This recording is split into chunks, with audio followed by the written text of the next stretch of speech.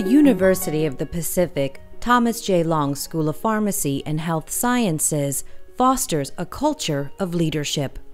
One of the ways this is demonstrated is the high number of Pacific alumni involved in state and national pharmacy associations. Showing the next generation what it takes by deed, as well as taking them under their wings, showing them how to participate in activities within those associations leads now to a tradition of leadership within our school. One of the biggest things that uh, UOP teaches you about leadership is that uh, to be like an effective leader, you need to be constantly learning because you know, pharmacy is a profession that's always changing and you know, we want it to change, which it's a good thing. It's also about developing your skills and helping your profession grow and taking the possibilities of where pharmacy can lead us to and hopefully um, advocate for our profession. All of our faculty get involved with our students and the organizations that they advise.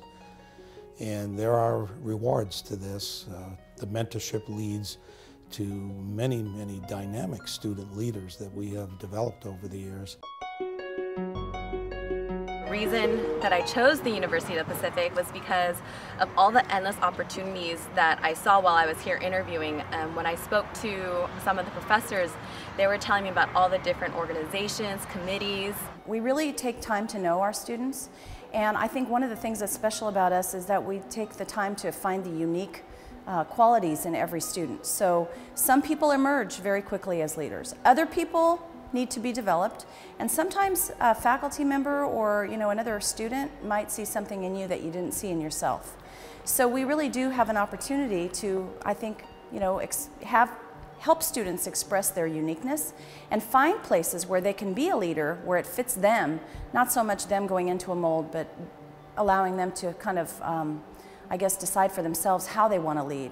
At the University of Pacific, we're really lucky because we have a lot of leadership committees and um, one of them is the International Pharmaceutical Leadership Federation and as co-chairs we it's been such a fortunate experience because we started out really small but with the help of faculty and staff we've been really able to expand and initiate a lot of projects for our school and we've really grown in the past year. Pacific also leads by reaching out to the community to provide important health services.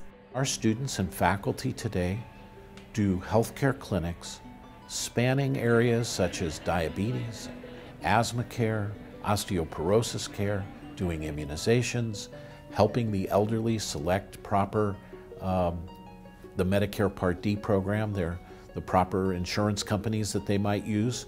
Our faculty and students, for free, have touched thousands of underserved patients here in the San Joaquin County and surrounding counties. You will have colleagues and coworkers looking up to you for advice and more importantly you're going to have uh, patients go to you for advice and asking you to help them solve their, their healthcare problems. And so I feel like being a student leader really helps you develop those skills. They allow everybody the opportunity to become a leader and if you, if you are unsure about it, they make you feel so comfortable that um, becoming a leader here on campus is really uh, an enjoyable thing to be a part of thank you.